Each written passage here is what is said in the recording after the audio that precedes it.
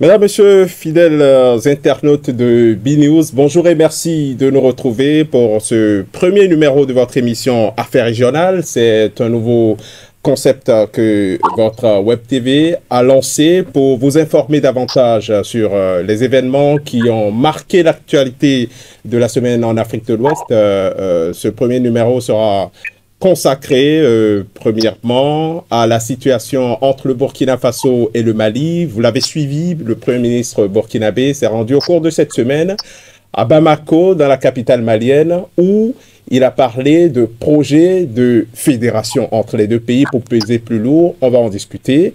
On parlera aussi de la situation au Sénégal qui est très tendue actuellement entre Ousmane Sonko et la coalition au pouvoir il y a un procès qui devait avoir lieu euh, au, courant de cette semaine, euh, mardi dernier, qui a été renvoyé au 16 février prochain. On en parlera. Et puis, on va finir par ce triste événement, ce drame qui a frappé le Bénin, où euh, plus de 20 personnes sont mortes dans un accident de la circulation, un choc pour tout un pays. On discutera notamment des projets que le gouvernement compte lancer pour sécuriser davantage les axes routiers béninois.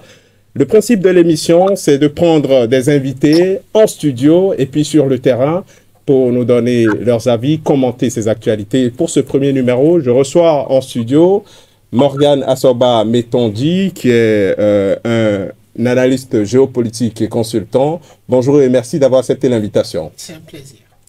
En ligne euh, au Burkina Faso, à Ouagadougou précisément, nous avons le docteur Daniel Kéré qui ne sera pas sa première participation à une émission sur B-News. Il est enseignant-chercheur en sciences politiques. Euh, il est euh, le directeur exécutif du Cercle d'études Afrique-Monde. Docteur Kéré, bonjour et merci d'avoir accepté une nouvelle fois notre invitation. Bonjour. Alors, le premier sujet, on le commence avec vous. Euh, le Burkina Faso et le Mali ont un projet de fédération pour être plus fort et peser plus lourd. Euh, docteur Kéré, est-ce que vous avez plus de précisions sur cette déclaration du Premier ministre Joachim Detambela lors de sa visite au Mali? Il faut préciser que cette information est une surprise même pour la population du Burkina Faso pour deux raisons essentiellement.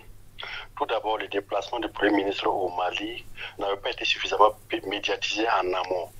Donc, c'est certainement une fois sur place que l'information est sortie pour faire état de la présence du Premier ministre du Burkina Faso au Mali.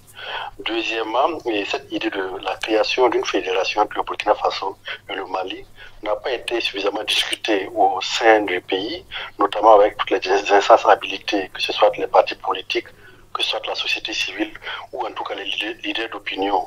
Donc euh, c'est assez nouveau et c'est une initiative en tout cas qui, que nous découvrons en même temps que beaucoup de personnes, même si on peut dire que c'est une initiative noble.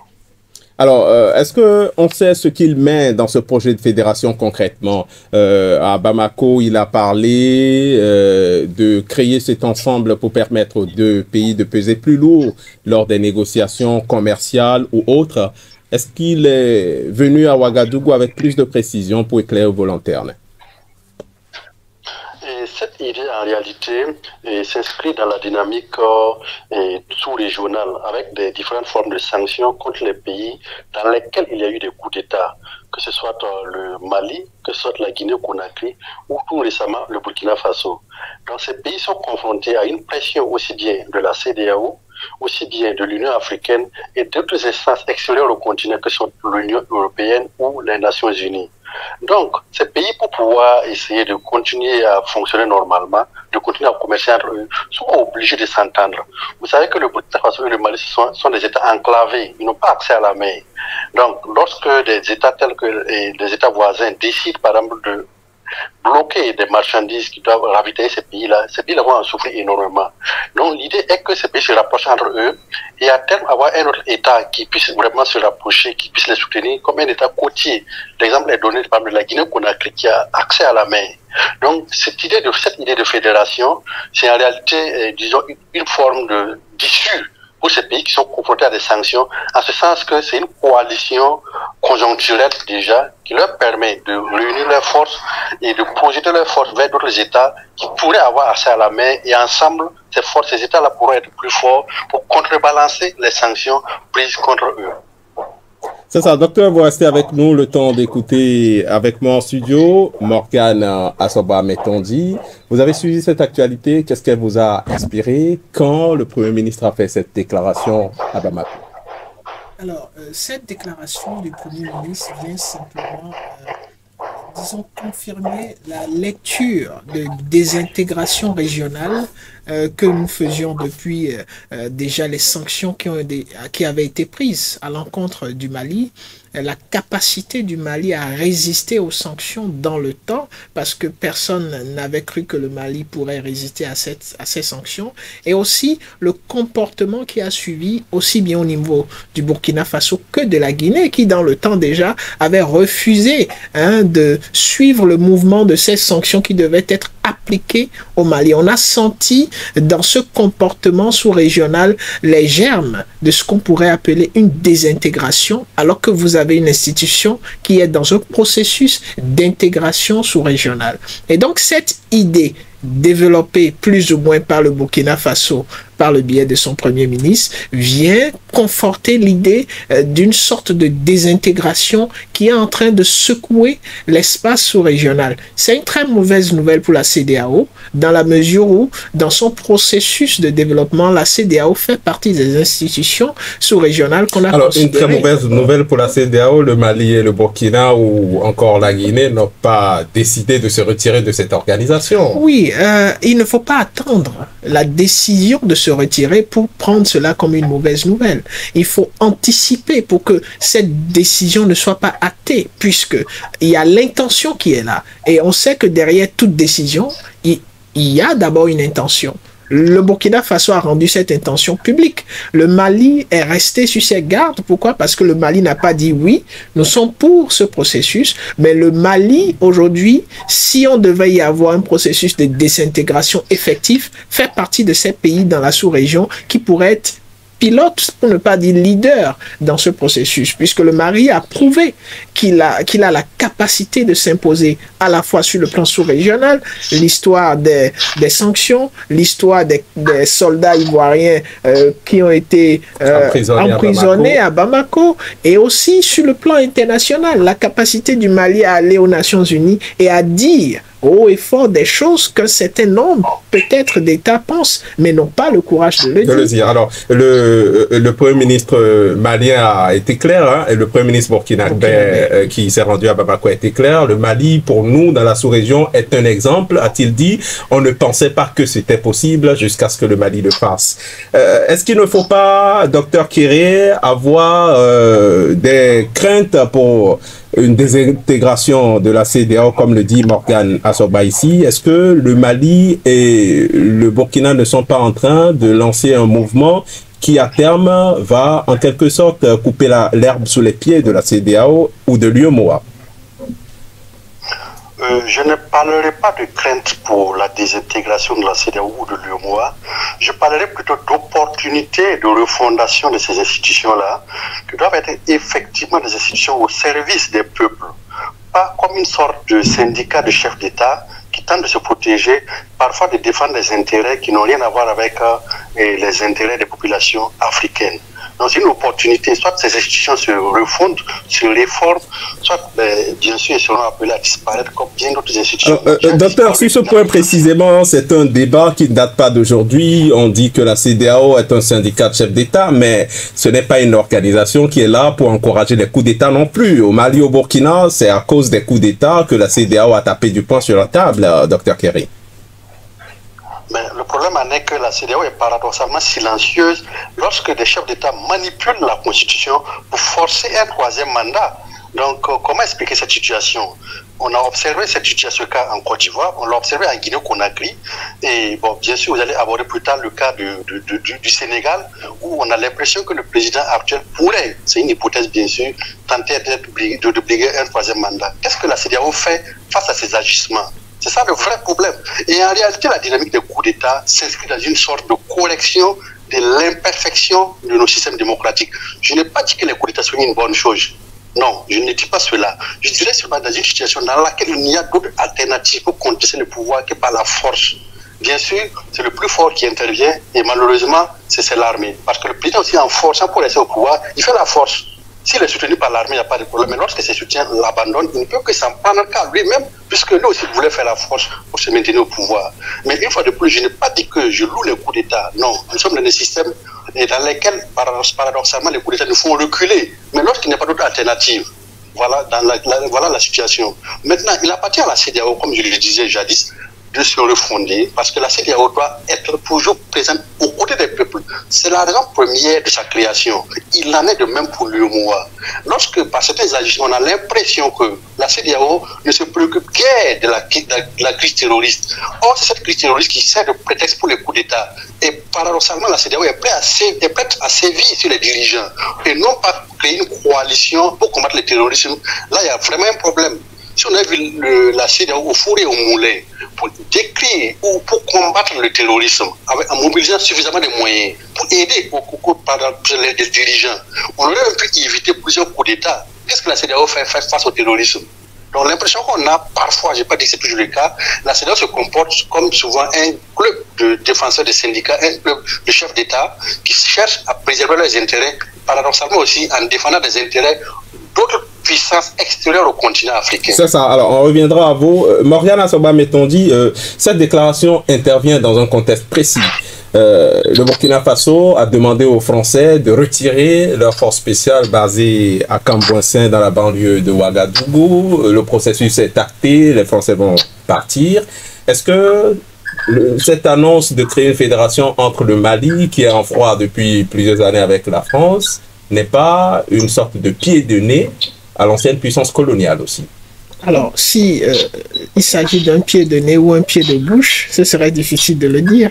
Mais il est clair que vous avez là une initiative qui vient confirmer l'intention de changer de partenaire vis-à-vis -vis du contexte euh, face auquel le Burkina se retrouve.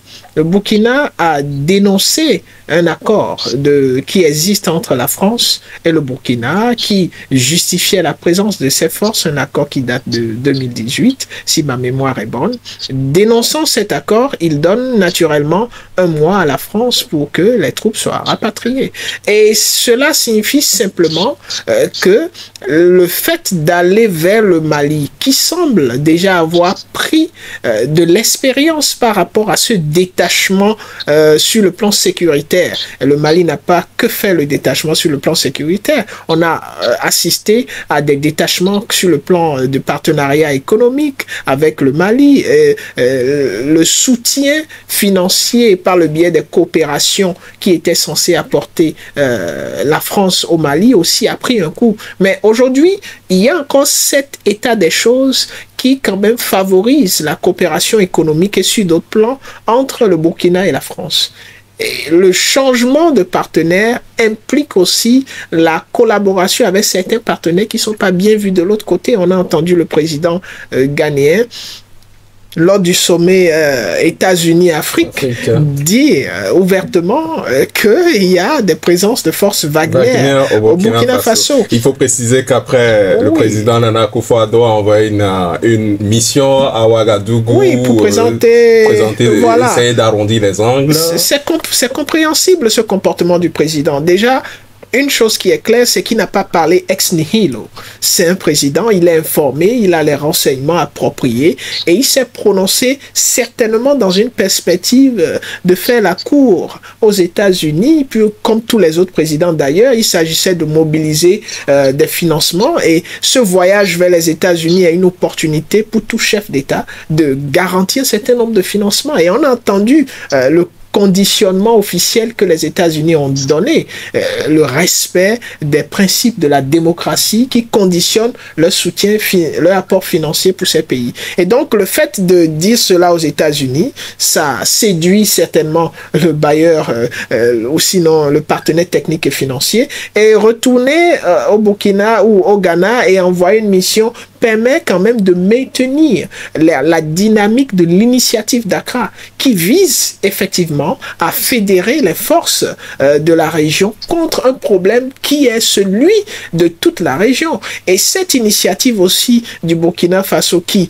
euh, vise à euh, fédérer ses forces avec le Mali est une initiative qui pourrait apporter un plus à cette initiative Dakar. C'est ça, l'initiative Dakar, hein, euh, cette, euh, cette sorte d'organisation entre certains pays pour lutter contre le terrorisme, il faut le préciser. Euh, docteur Kéré à Ouagadougou, est-ce que, selon vous, bon, dites-nous, est-ce que les soldats français de Cambouin ont effectivement commencé à faire leurs valises? Pour info. Bon, certainement, parce que je n'ai pas suffisamment de détails pour être honnête, mais je préfère rebondir un peu sur l'initiative d'Accra dont mon prédécesseur vient de, parler. Et on a beaucoup de réserves ici au Burkina Faso par rapport à cette initiative dite d'Accra. Parce que il m'allait que c'est un peu lié à la suite du deuxième coup d'État au Burkina Faso, avec une équipe résolument hostile, disons, à l'impérialisme, aux puissances impérialistes. C'est après ce coup d'État qu'on voit curieusement émerger cette initiative d'Accra. Bien sûr, toute initiative, dans le contexte difficile, quelque chose de, de crise terroriste actuellement, toute initiative est bonne. Mais l'idée d'une initiative qui pourrait être portée par des États avec d'autres États occidentaux, qui sont déjà peut-être à la manœuvre ça me paraît quand même suspect parce qu'on se demande est-ce que euh, euh, docteur, docteur, vous permettez, docteur Kerry, docteur Kerry, permettez une petite précision, s'il vous plaît. L'initiative d'Accra existe depuis 2017. C'est pas la faveur du coup d'État. Ce qu'on peut dire, c'est ce projet de force euh, interrégionale pour lutter contre le terrorisme qui est nouveau, euh, qui est nouvelle. Cette force qui, comme nous l'ont annoncé les chefs d'État, devait commencer ses opérations depuis le 22 décembre dernier. Jusqu'à présent, il n'en est rien. Est-ce que vous n'allez pas un peu trop vite en besoin, docteur Thierry non, c'est en fait, en parlant de l'initiative d'Accra, je parle de cette force que l'initiative d'Accra vise à mettre en place. C'est ça que je parle exactement. L'idée de mettre en place cette force est récente et est consécutive au deuxième coup d'État survenu au Burkina Faso. Donc, ce deuxième coup d'État a des acteurs qui sont résolument anti-impérialistes. Donc, comment, par exemple, ces acteurs qui sont en train d'être chassés du Mali, en train d'être chassés du Burkina Faso, peuvent revenir dans nos pays d'une certaine, certaine façon. Donc, ici, au Burkina Faso, dans certains cercles, on appelle l'initiative d'Accra, on peut des mécanismes pour ces forces qui ont été chassées du Mali et qui sont d'être chassées du Burkina Faso comme étant un mécanisme pour revenir encore, sous le couvert en tout cas, d'une initiative beaucoup plus globale qui intégrerait les États occidentaux. C'est ça tout le problème. Sinon, le bien fondé d'un regroupement de forces pour combattre le terrorisme ne fait l'objet d'aucun doute, qu'on soit, très clair par rapport à cela. Maintenant, pour revenir un peu par rapport à la situation de la base militaire de Camouessin, au Burkina Faso, on observe actuellement un fort palais diplomatique il y a plusieurs personnalités qui viennent au Burkina Faso. Et l'hypothèse qu'on pourrait émettre, c'est que et parfois ces personnalités sont, pourraient être porteuses de messages en fait à destination de l'équipe au pouvoir. Est-ce dans le sens d'arrondir les angles entre cette nouvelle équipe et d'autres puissances comme la France ou d'autres puissances comme les États-Unis? Est-ce pour essayer de calmer le jeu, pour trouver effectivement une formule pour que cette force-là qui est en train d'être chassée du Burkina Faso puisse rester ou revenir sous une autre forme? On n'en sait rien. Mais le constat est que ce balai diplomatique est suffisamment étoffé actuellement et c'est consécutif à la décision du Burkina Faso d'expulser la force sabre implantée sur son territoire. Alors, euh, je reviendrai à vous pour une dernière question parce que le temps qui nous est imparti pour discuter euh, de ce point, de cette émission est en train de courir tranquillement à son terme. Euh, à savoir, euh, mettons dit, on va parler, on ne peut pas parler du départ des Français sans parler de la Russie. On sait qu'au Burkina Faso maintenant, il y a beaucoup de voix qui s'élèvent pour demander aux Russes de venir prendre leur place dans la lutte contre le terrorisme dans le pays. Est-ce que euh, on parle d'impérialisme La Russie, qu'on le veuille ou pas, c'est une euh, grande puissance de ce monde, des impérialistes aussi. Est-ce qu'on ne quitte pas euh, le fer en quelque sorte pour aller faire alliage à l'acier? Oui, cela dépendra de la dextérité des négociateurs de ces pays africains, de la dextérité des diplomates et des leaders vis-à-vis de la défense des intérêts de leur peuple. Vous savez, euh, lorsqu'on parle de négociations, d'accords de partenariat, c'est de bonne guerre. Il suffit d'avoir euh, des représentants suffisamment informés et conscients des intérêts euh, des peuples qu'ils représentent afin que le contenu de ces accords soit avantageux pour le peuple. Et quand vous parlez de la Russie, il a été très clair lors du sommet euh, Russie-Afrique ce pourquoi la Russie venait en Afrique. La Russie a déclaré ses intentions qui est, euh, à savoir, le domaine de la sécurité, l'armement. La Russie est prête à travailler avec les États africains et je pense que c'est un très bon ciblage de la part de la Russie puisque les questions d'actualité qui menacent hein, le développement en Afrique sont effectivement les questions de stabilité sur le plan de la sécurité. La Russie aussi a ajouté l'aspect économique. Et donc, lorsque vous regardez les différents accords et la présence euh, de la Russie de plus en plus dans certains pays en Afrique, c'est bel et bien dans le domaine 1 de la sécurité. Ce sont des pays qui sont secoués par l'instabilité sur le plan de la sécurité. Et ce sont aussi des pays qui sont à la quête de nouveaux partenaires pour leur capacité économique. Quand vous prenez le Mali, le Mali aujourd'hui a déjà réussi un coup énorme en matière de représentation ou de considération sur l'aspect diplomatique. Maintenant, il reste la capacité économique qui devrait accompagner cet aspect diplomatique. Et pour atteindre cette capacité économique, le Mali a besoin de partenaires, de nouveaux partenaires. Alors, euh, vous me permettez, on n'a plus beaucoup de temps. On va écouter une dernière fois euh, le docteur Kéré à, Ouagadougou. Euh, vous demandez aux Français de partir, vous ouvrez la porte aux Russes. Est-ce que vous pensez que votre, problème sera réglé avec les Russes, alors que dans le même temps, vous dites que les Français n'ont pas servi à grand-chose en tant d'années de présence sur le territoire? Euh, Permettez-moi de rectifier un élément. En réalité, nous ne sommes pas en train de dire aux Russes de venir prendre la place des Français. Mm. Non, pas du tout. Je vous explique ce qui se passe actuellement. La nouvelle équipe au pouvoir, c'est une équipe fondamentalement nationaliste, en ce sens que elle trouve que les intérêts du pays doivent compter au même titre que les intérêts des autres États. Donc, si on a un partenaire, on doit avoir une forme de partenariat d'égal à égal, qui prenne en compte aussi nos intérêts. Cette équipe découvre qu'il y a des accords anciens qui mettaient le Burkina Faso sous une forme de suggestion, une forme de domination au profit d'autres puissances coloniales, ou disons, au profit d'anciennes puissances coloniales sur le propre territoire de Burkina Faso. Donc c'est dans la dynamique de corriger ces déséquilibres-là qui explique que ces forces-là ou ces nouvelles autorités décident de, corriger ou de dénoncer certains accords. Ça, c'est le premier élément. Maintenant, il se trouve que actuellement au Burkina Faso, il y a des puissances qui estiment que pour la, Russie, à travers des éléments comme Wagner, c'est incompatible avec leur présence au Burkina Faso. Et ces puissances-là trouvent que si on, dès qu'on parle de Russie, c'est puissant que c'est Wagner qui viendra à la place des militaires russes. Donc, c'est puissant qu'elle ne peut pas rester sur place. Voilà les déclics. Sinon, ce qu'on ne dit pas, c'est que la Chine est impliquée actuellement dans les questions militaires au Burkina Faso. La Turquie est impliquée dans les questions militaires au Burkina Faso. Et même l'Iran est en train de courtiser le Burkina Faso pour appuyer le Burkina Faso sur le plan militaire. Donc, en prenant en compte tous ces éléments-là, il s'agit d'une diversification des partenariats, premièrement. Deuxièmement, une collection d'anciennes formes de partenariats qui mettaient le Burkina Faso sur une forme de, dans une position de dominer. Donc, on ne parle, on ne pas une ancienne, une ancienne puissance coloniale, on se fait coloniser à nouveau par les Russes. Pas du tout. On dit seulement que les Français, pendant un temps, étaient présents au Burkina Faso. On n'a pas eu les résultats escomptés. Puis, il y a des accords qui semblent aussi nous mettre dans une position de faiblesse qui ne nous permettent pas, sur le plan structurel, de corriger nos défauts et de surmonter le terrorisme. Alors, Donc, on corrige ces alors, Docteur Kéré, docteur Kéré euh, je suis désolé de devoir vous couper, on n'a plus beaucoup de temps. Je vous pose une toute petite dernière question euh, euh, ouverte rapidement, ou du moins fermée. Est-ce que vous avez espoir en cette fédération qu'appelle le Premier ministre burkinabé entre le Mali et son pays? La fédération, il y a beaucoup d'étapes qui doivent d'abord être franchis avant qu'on atteigne la fédération, notamment le développement des échanges, le renforcement de la coopération sur le plan militaire, la mise en place de certaines institutions communes. Donc, émettre l'idée de fédération, je vois ça comme une idéal, mais le chemin est encore long. Merci, merci infiniment à vous, docteur euh, Daniel Kéré. Vous êtes euh, euh, docteur en sciences politiques, vous enseignez à l'université Thomas Sankara de Ouagadougou et vous êtes le directeur exécutif du Cercle d'études Afrique-Monde. Merci d'avoir répondu à cette première invitation de B-News euh, pour cette nouvelle émission Affaires régionales. On va passer maintenant euh, faire une petite pause, hein, retrouver d'autres invités à Dakar au Sénégal pour parler de la tension politique qui règne actuellement dans le pays entre le président Macky Sall et son principal opposant Ousmane Sonko.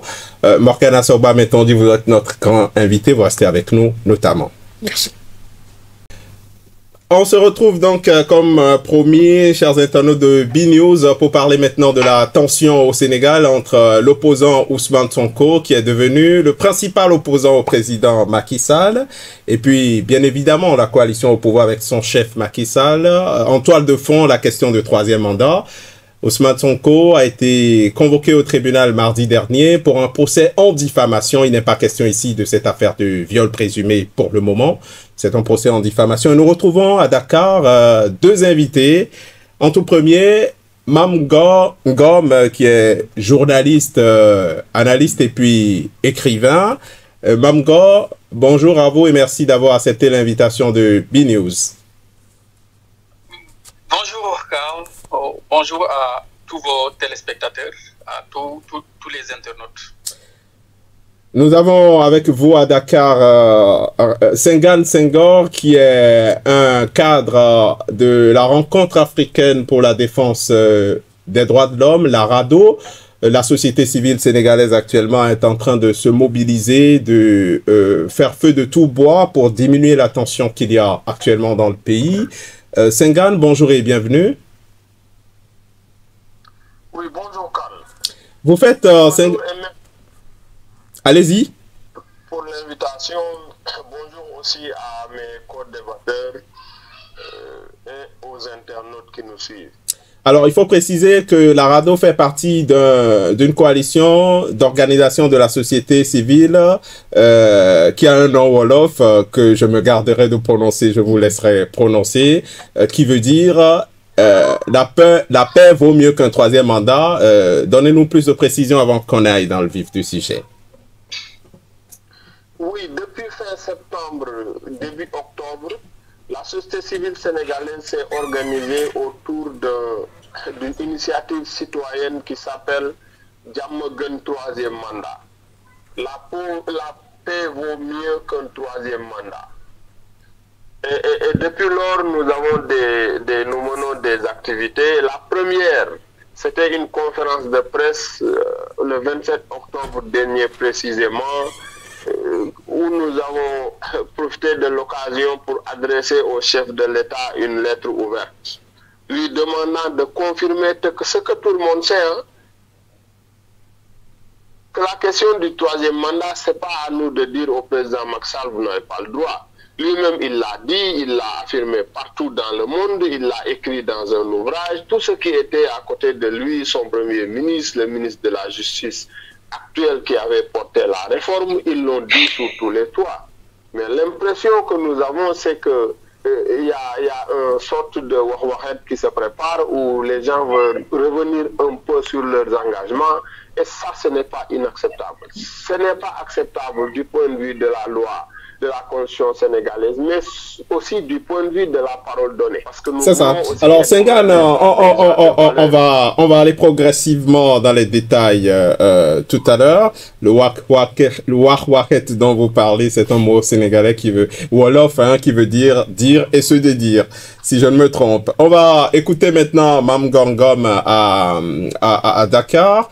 Ousmane Sonko devait comparaître pour son procès en diffamation mardi dernier. Il est poursuivi par un ministre qui l'accuse euh, d'avoir euh, dit des contre-vérités à son sujet. Euh, Ousmane Sonko a dit que le ministre Mambaignan a été épinglé dans un rapport de l'inspection générale d'État.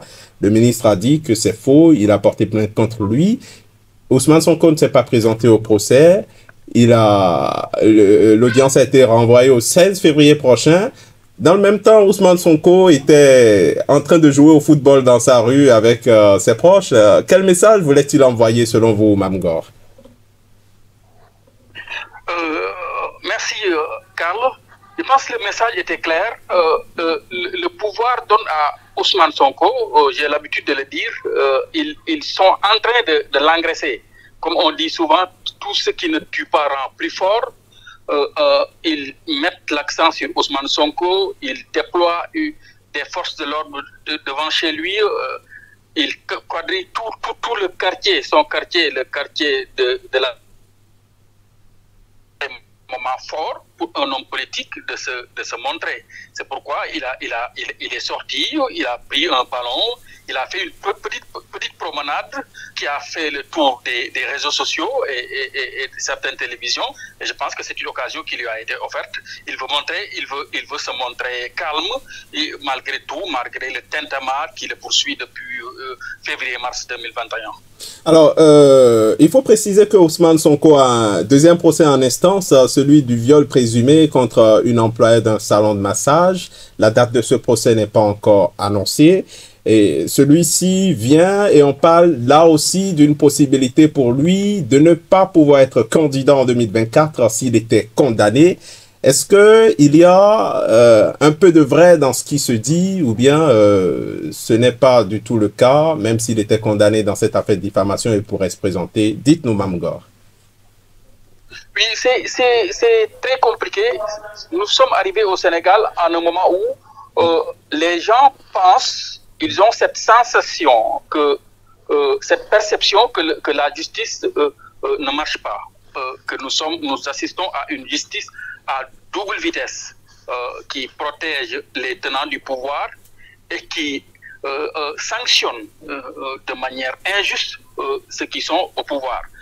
souvent, on, parle, on donne l'exemple de, de, de, Khalifa Sall, l'ancien maire de Dakar, qui a été emprisonné dans le cadre de la caisse d'avance. On parle aussi de, de, de Karim Wade, qui a été condamné et emprisonné dans le cadre de la traque bien supposés maladies. Si on donne tous ces cas, c'est pour montrer que c'était des fortes personnalités qui, qui voulaient être candidats à, en, en, 2019, mais qui ont été empêchés d'être candidats, alors que d'autres, euh, euh, parallèlement, des, des, des, des, du, du, régime en place ont, été épinglés par, des, par des rapports de, la Cour des comptes par des rapports des corps de contrôle et qu'ils euh, ils, sont sortis indemnes de cette situation. C'est pourquoi au niveau, c'est une, une idée largement partagée au Sénégal, euh, euh, la justice ne, ne, fait pas son travail. Donc c'est en de pareilles occasions qu'on qu se rend compte qu'une justice vraiment juste, une justice qui, qui n'est pas euh, influer au pouvoir est, est, est, est, bonne pour, Alors, pour la démocratie. Mamdor, permettez qu'on aille un peu plus rapidement. Est-ce que Ousmane Sonko, sa candidature pour 2024 est effectivement menacée? Si à l'issue de ce procès pour diffamation, il était condamné Non, il est, il est difficile de le dire. Euh, s'il s'agit, s'agit que d'une, diffamation, je ne pense pas, je ne suis pas juriste, peut-être le Seigneur va, va, va nous en dire plus, mais s'il s'agit que d'une condamnation en, en, diffamation, ça ne devrait pas empêcher une, une, candidature. Euh, mais si on, on, on dit qu'il y a le procureur qui a ajouté des menaces de mort ou bien euh, des, des, des, des, choses qui ne sont pas du tout catholiques, alors que tout le monde sait que euh, même si ce n'est pas un rapport euh, de, l'inspection générale d'État, comme on le dit, il y a un, rapport de l'inspection générale des finances euh, qui, avait bien existé et que un autre livre de la MSEC, pour ne pas le nommer, c'est le, coordonnateur du Forum civil sénégalais, avait fait a écrit un livre sur ce, sur, sur, sur ce problème euh, autour du, PRODAC et il a parlé de massacre de, de, de l'argent du contribuable sénégalais. Donc il y a la forme et le fond. Euh, beaucoup de Sénégalais ont l'impression bon, qu'on est en train de, prendre l'ombre pour la proie. C'est ça. Euh, avant de revenir à Senghor Senghor, qui est juriste, qui pourra éclairer, qui pourra en donner plus de précision, comme vous le dites, on va écouter Morgana Soba Metondi, qui est béninois, mais qui suit avec beaucoup d'intérêt cette affaire, euh, la situation politique au Sénégal, qui est un pays phare de, de la sous-région ouest-africaine. Qu'est-ce que cela vous inspire? Déjà, cela est une actualité qui mérite réflexion, surtout lorsqu'il s'agit de celui qu'on peut appeler un opposant majeur hein, au, régime du président actuel euh, du Sénégal. Et cela aussi permet de regarder le caractère d'éligibilité hein, de chaque individu. Quand vous regardez ce qui se passe au Sénégal avec Ousmane Sonko, Ousmane Sonko était euh, au départ censé se retrouver à l'Assemblée nationale, mais on a vu quand même une sorte de maturité euh, qui a été démontrée par ce dernier lorsque euh, finalement il a accepté ne pas être à l'Assemblée et laisser les autres teneurs hein, de ce parti politique qu'il dirige représenter le parti valablement à l'Assemblée pour le combat. Et cela était vraiment quelque chose à apprécier puisqu'on a tendance à assister à un culte de la personnalité euh, dans nos partis politiques en Afrique, ou si ce n'est pas tel individu qui représente le parti qui se retrouve euh, dans la scène euh, nécessaire, on, ne va pas aux élections. Et de l'autre côté, vous regardez ce caractère d'éligibilité qui est vraiment important. Cela est arrivé à d'autres acteurs clés hein, de, de la vie politique au Sénégal, à des moments spécifiques où ils étaient en train de se préparer pour être candidats, c'est très possible possible que si on a une condamnation, que le caractère éligible d'Ousmane Sonko soit frappé. Et cela euh, ne pourra être changé que si la constitution hein, du Sénégal venait à être modifiée ou si euh, il y a eu entre-temps des modifications qui permettraient à qui que ce soit euh, qui soit condamné quand même d'avoir des situations atténuantes où cette personne peut être éligible. Et je pense que c'est une leçon euh, très importante à tirer, surtout par les différents acteurs politiques. On revient maintenant à Sengan euh, Senghor, qui est acteur de la société civile et juriste. Est-ce que vous, de votre côté, vous pensez que les chefs d'accusation contre Ousmane Sonko aujourd'hui peuvent valablement conduire à son exclusion de la prochaine présidentielle? Oui, d'abord, je dois préciser que j'entends faiblement M. Soba et Mme Goran. Mais quand même, je vous entends très bien, vous, Karl. Je ne sais pas si c'est technique ou pas. On va le régler. Oui, d'abord, il, faut... il faut préciser qui est Mambaïna. Mambaïna, c'est actuellement le ministre du Tourisme au Sénégal, mais c'est quelqu'un qui est réputé être très proche du président de la République et de son épouse.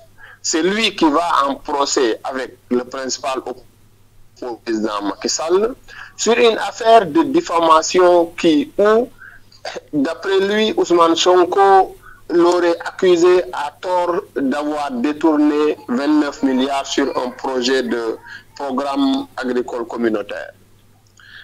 La diffamation, c'est quoi? Vous êtes journaliste, vous le savez c'est très souvent des, des, des procédures où quelqu'un pense que son honneur a été souillé et demande que son honneur soit lavé en justice. C'est aussi simple que ça. Mais si on écoute aujourd'hui le responsable de la majorité ou celui-même qui poursuit Ousmane Sonko, on sent que c'est une, ils, prennent ça comme une aubaine pour en réalité écarter définitivement Ousmane Sonko du jeu électoral. Mais pourquoi ils le pensent alors, si Ousmane Sonko, à l'issue de ce procès, est condamné et tombe sous le coup de l'article L29 ou L30 du Code électoral sénégalais, l'article L29 dit quoi? Dit que celui qui est condamné à trois mois de prison ferme, surtout dans ce cas-là, peut devenir inéligible ou si la personne est condamnée à six mois avec sursis.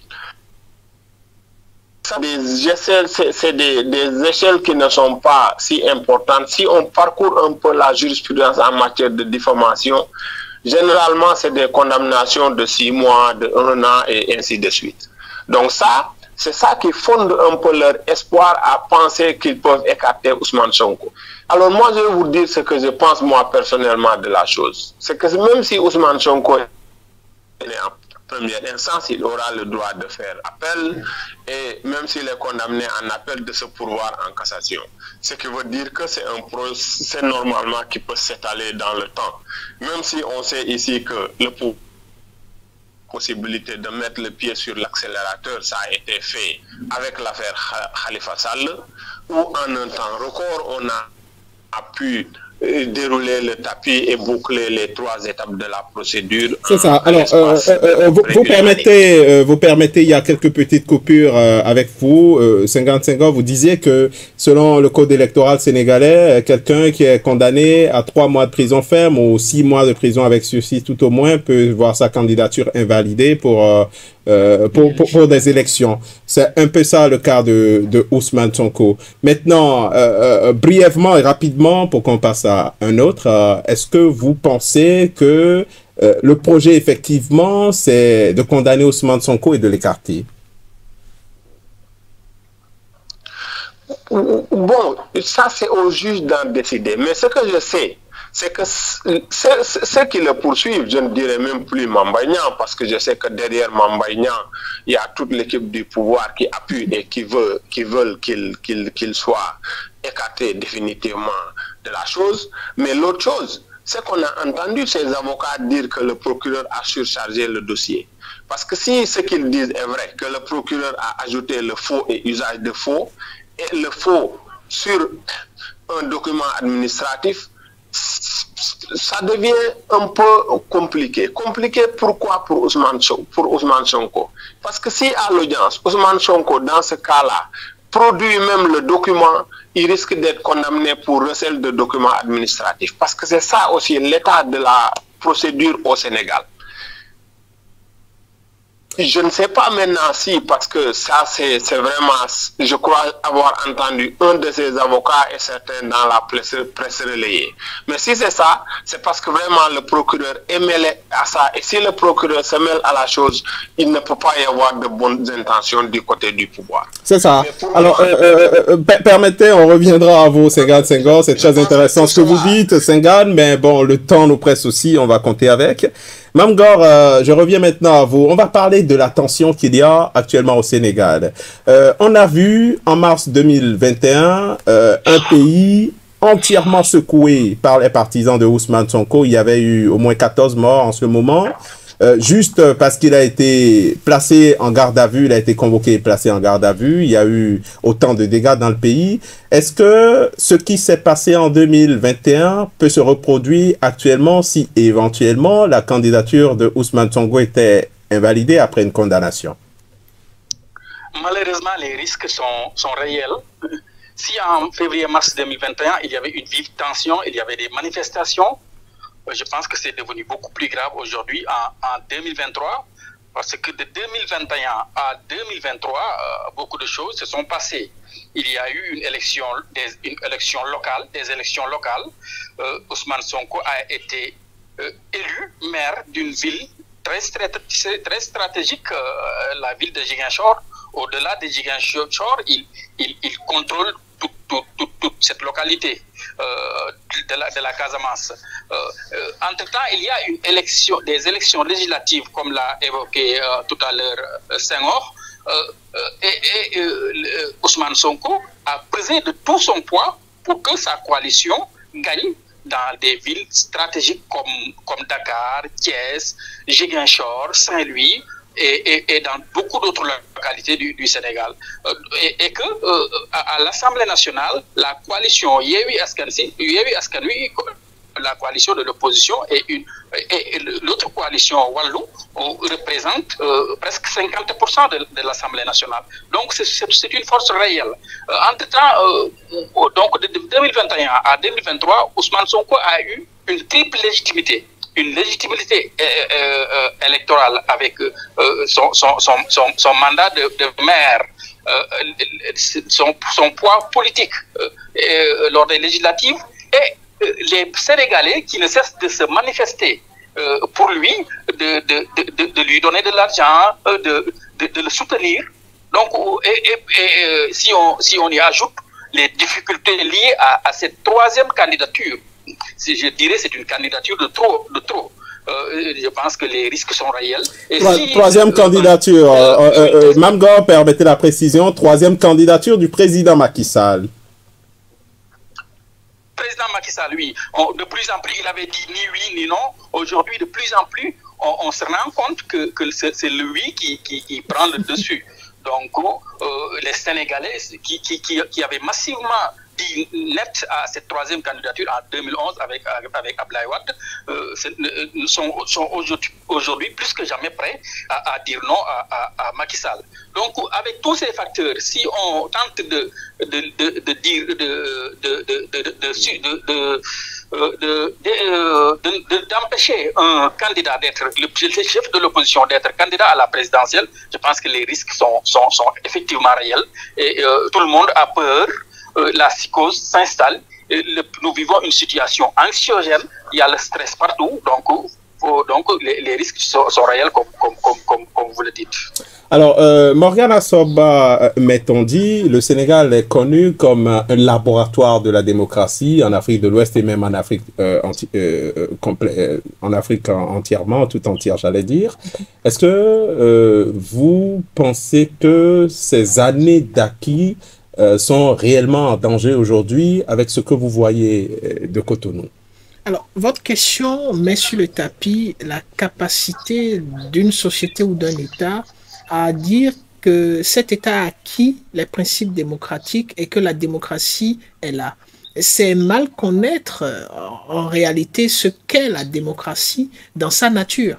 Quand vous voyez ce qui s'est passé aux États-Unis, on a dit, euh, ces États-Unis font partie quand même de ces États où on n'imaginait pas qu'on pourrait assister à ce soulèvement qu'on a eu et cet assaut qu'on a eu sur le Capitole. Et donc, c'est tout à fait compréhensible lorsqu'il y a une divergence d'opinion qu'on arrive euh, à des moments donnés que la divergence et le clivage soient tellement forts qu'on puisse assister par à un recul de la démocratie, mais à une manifestation très grandiose de cette démocratie dans une perspective de développement. Et il faut dire qu'aujourd'hui au Sénégal, euh, les différentes forces en place au Sénégal montrent que d'ici là, nous allons assister à un événement qui va déterminer la nouvelle orientation démocratique du Sénégal. Et quand vous revenez à la situation proprement dite, elle met en relief ce qu'on pourrait appeler euh, la sempiternelle euh, idée de séparation des pouvoirs qui existe entre la justice et le politique. Aujourd'hui, dans une perspective de maintien d'une bonne ambiance ou d'un bon climat social pour le développement des élections, même s'il s'avérait que M. Sonko euh, soit coupable dans une perspective de maintenir le climat social, il faudra passer outre. Sinon, effectivement, on pourra assister à des soulèvements qui vont affecter naturellement l'ensemble du pays. Et donc on se demande à certains moments, faut-il laisser la justice prendre le dessus ou faut-il simplement s'apesantir sur l'aspect politique? Et par ricochet, je pourrais simplement vous demander de regarder ce qui s'est passé au Mali. Au Mali, les soldats ont été reconnus coupables condamnés. Et quand on voit le crime pour lequel ils ont été condamnés, c'est difficile de comprendre comment est-ce qu'on peut simplement leur donner la grâce présidentielle ipso facto, parce qu'ils n'ont pas euh, épuisé ne serait-ce que quelques jours euh, de, de, de, la peine qu'on leur a posée. Et donc, à des moments donnés, la séparation des pouvoirs qu'on prône euh, est amenée à être mis de côté. Et dans le cas de, de du candidat Sonko, qui est l'opposant principal aujourd'hui, c'est tout à fait clair que remettre sa, son éligibilité en cause par une condamnation quelconque, que ce soit pour le procès en diffamation ou celui du viol, c'est très compliqué pour la stabilité sociale au Sénégal. Alors, vous parliez des soldats condamnés au Mali. Il faut préciser que c'est dans l'affaire euh, des 49 militaires ivoiriens.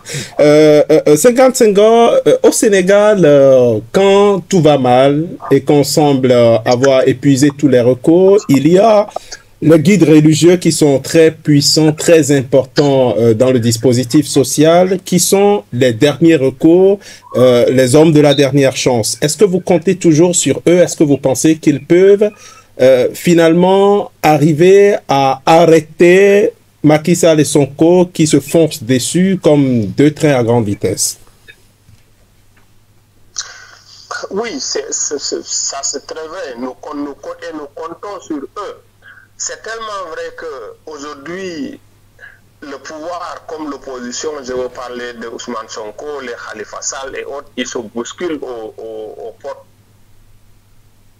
à bout de ces grands guides religieux pour chacun donner sa version des faits et, expliquer ce qui se passe. Pour le moment, on ne les entend pas publiquement. Ils n'ont pas pris position, mais nous savons qu'ils sont en train de, de travailler en dessous pour que cette situation sociale-là soit apaisée. Et parmi les éléments qui chauffent cette, ce, pays maintenant, il y a l'affaire Ousmane Sonko. Effectivement, parce que le, le pouvoir est en train de l'empêcher de se concentrer sur sa candidature déclarée pour 2024 en multipliant les procès. Là aussi, ce n'est pas très bien, j'allais même dire c'est antidémocratique. Mais il y a en toile de fond cette question de troisième mandat. Et un de, un de mon frère, Yerim Sek, un ancien de Jeune Afrique qui a publié récemment un ouvrage, il dit dans l'ouvrage que aujourd'hui, son principal problème, c'est comment il va convaincre les guides religieux sur cette question de troisième candidature. Parce que pour lui, il a des problèmes au niveau du Conseil constitutionnel. Et on revient sur la question de Ousmane Sonko pour préciser cette perception que les Sénégalais ont de la justice. Parce que les Sénégalais ont une perception dure comme fer que la justice, elle est là pour le pouvoir. Et il lui dit du Conseil constitutionnel que le, le président a déjà consulté le Conseil constitutionnel et que le Conseil constitutionnel aurait déjà dit au président que si vous déposez votre candidature sera validée. Et c'est certainement sur la base de l'article 92 de la Constitution du Sénégal, dont l'article, l'alinéa 3 de l'article 92 dit que le président peut saisir le Conseil constitutionnel pour des avis. Donc il peut les consulter pour avoir des avis sur n'importe quelle question. Et on sait aussi que ces avis sont donnés sous le sceau de la confidentialité. Mais l'un des l'une des difficultés que le président doit d'abord régler, c'est comment manquer à sa parole devant ses guides religieux et les convaincre, mais aussi comment il, il, va faire pour contourner ce mouvement qui, qui, qui, est né de la société civile et qui grandit, que l'on va entendre sous peu dans tout le monde, parce que nous allons vers une fusion avec les partis politiques, avec les syndicats et autres, pour le pousser à respecter sa parole. C'est ça. Alors, euh, chers invités, euh, on va rapidement faire un dernier tour de table. Euh, Mamgor Ngom, journaliste et analyste écrivain à Dakar. Est-ce que vous pensez que on voit bien que du côté de Ousmane Sonko, il n'est plus question de faire machine arrière. La machine est lancée, il faut qu'elle aille jusqu'au bout. Est-ce que on peut espérer du côté du président Macky Sall euh, cette, euh, euh, cette lumière qui viendra apaiser toutes les tensions parce qu'après tout, hein, c'est lui qui contrôle le jeu. Oui, c'est tout ce que l'on souhaite, beaucoup le souhaitent. il y a eu des, il y a des médiations certainement, même si ça se fait en sourdine. et lui-même avait dit en février-mars 2021, après les graves manifestations, les violentes manifestations qui ont ont fait 14 euh, morts et plusieurs blessés. Il avait dit qu'il avait, qu'il avait bien compris cette jeunesse. Parce qu'au-delà de Ousmane Sonko, euh, il y a euh, cette crise qui, qui est réelle, c'est une crise mondiale, mais qui est assez réelle ici au Sénégal, avec des hausses, avec des, manques partout, avec une, crise au niveau de, de surtout morale, il y a cette crise morale, cette jeunesse qui, euh, qui, qui, chôme, euh, cette jeunesse qui est oisive, euh, donc tous ces, tous, ces, tous, tous ces ingrédients euh, font que euh, une, une, autre crise politique pourrait, pourrait faire beaucoup de dégâts, comme, comme en février-mars, et même beaucoup plus de dégâts. Parce qu'aujourd'hui, euh, euh, si on voit Ousmane Sonko, euh, qui a fait récemment fait un meeting, un grand meeting en banlieue, à lointaine banlieue dakaroise, avec une foule monstre constituée de jeunes qui ont passé la nuit là-bas, d'autres ont quitté l'université pour marcher jusqu'à jusqu'à jusqu'à Kermassar. Euh, et euh, détermination qu'on note, parce qu'en tant que journaliste, nous, observons et nous, habitons dans les quartiers, et on note cette, aversion euh, pour, pour, pour, pour, pour l'injustice, euh, à, à tort et à raison, on a cette aversion euh, pour le, pour la troisième candidature. Donc, on, risque d'assister à, Alors, est-ce que vous pensez, Mamgo, permettez qu'on aille rapidement, est-ce que vous pensez que le président Macky Sall peut détendre la tension, peut avoir ce geste qui va tout calmer? Oui, il, peut, il, peut, il peut bien le faire, il y va de son intérêt, mais on ne peut pas le dire de manière péremptoire qu'il va prendre une décision pour, pour, pour, pour, Parce que depuis lors, il dit que ce qui s'est passé en, février-mars 2021 ne va plus se passer. Et il s'est organisé en conséquence parce qu'il euh, il y, a, des armes qui ont été achetées, il y a des recrutements qui se font. À tort ou à raison, les gens disent que c'est pour à toute éventualité. Il y a aussi euh, un déploiement massif des forces de l'ordre, même s'il y a avec la convocation d'Ousmane Sonko récemment mardi, dernier, il y avait un déploiement massif des forces de l'ordre partout à Dakar, même s'il n'y avait rien, même lors de, de, son face-à-face avec les juges, c'était la même chose. Donc, pense que pour lui et pour beaucoup de ses, collaborateurs, il doit pouvoir maîtriser la situation en, déployant les forces de l'ordre partout à Dakar.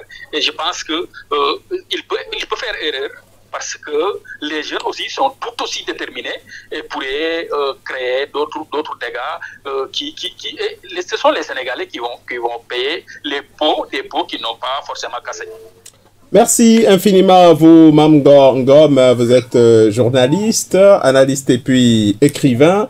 Merci d'avoir accepté l'invitation de B-News pour notre émission Affaires régionales. Merci à vous.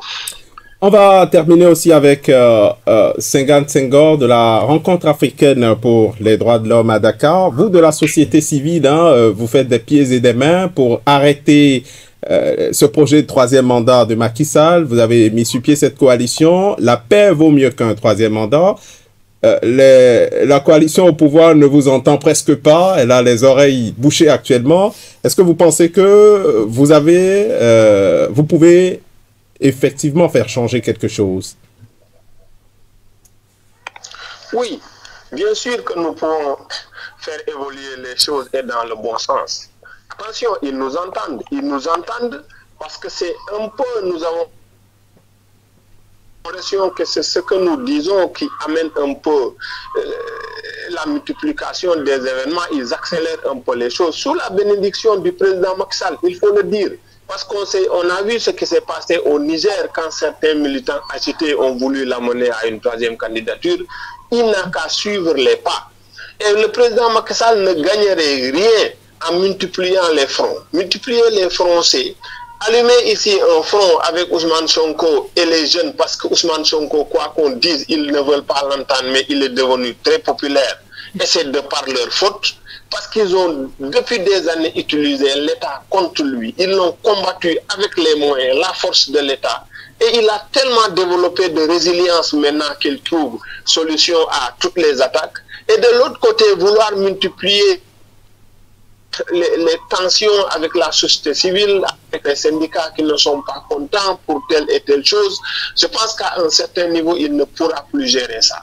Et moi, je dis toujours que c'est à lui qu'on a confié le Sénégal. Et il a la responsabilité de léguer un Sénégal de paix, comme on lui a donné, le président Ouad lui a donné en 2012. Et pour ça, nous le rappelons que ça ne se passera pas comme en 2012 ceux qui prendront la liberté d'allumer ce pays-là, de faire tuer les enfants des autres, ils répondront devant les juridictions s'ils perdent le pouvoir. Ça, c'est clair, net et précis, nous l'avons dit dans notre communication. Alors, euh, tout dernièrement, il y a Aléontine euh, qui, a, qui a créé euh, le Africa Jom Center, qui est un think tank, qui est une voix très respectée dans la société civile au Sénégal, qui a mis en garde contre des risques de guerre civile au Sénégal. Tout le monde lui a crié dessus, mais au fond, est-ce qu'il a tort? Il n'a pas tort. Parce qu'Aline aussi, il faut le dire, c'est quelqu'un qui a plus de 30 ans de société civile derrière qui a fait tous les, connu tous les foyers de tension en Afrique, qui connaît les causes et qui travaille dans la paix et la sécurité. Ce n'est pas pour rien que les Nations Unies l'avaient recruté comme expert indépendant au Mali pendant des années. Celui-là, il sait de quoi il parle. Parce qu'on est arrivé à des niveaux où on n'est jamais arrivé au Sénégal. Parce que quand les gens s'intéressent à des fonctionnaires, à certains citoyens s'intéressent à leur nom de famille pour voir ils sont d'origine, d'où ils sont, de quelle région. Ça, ça n'existait pas au Sénégal. Et, si on arrive à régler la question comme ça, euh, si on arrive à, à, traiter la question de cette manière, ça devient une question d'ethnie. Et si ça devient une on ne sait pas où est-ce que ça doit nous mener. Et deuxièmement, certains l'ont attaqué dans le pouvoir, même certains de la société civile qui sont à la solde du pouvoir ont attaqué à l'intime. Mais pour alerter, il faut utiliser des mots forts. Il faut réveiller ceux qui dormaient. Il a simplement voulu lancer un message très fort et je pense qu'il l'a réussi parce qu'ils ont sursauté en disant que ces mots-là sont de trop, on n'est pas à ce niveau. Et en tout cas, l'important, c'est que tout le monde a entendu à l'intime. Et puisqu'ils ont entendu, nous osons espérer qu'ils iront vers des solutions qui pourront servir le Sénégal, la sous-région Merci infiniment à vous, euh, Senghal Senghor. Vous êtes euh, euh, membre de la rencontre africaine pour la défense des droits de l'homme, une la RADO, hein, qui est une, organisation très présente dans la société civile au Sénégal, qui a mené et gagné plusieurs combats. Merci d'avoir accepté notre invitation. On espère vous retrouver pour d'autres rendez-vous sur B-News. On va Merci, Carl.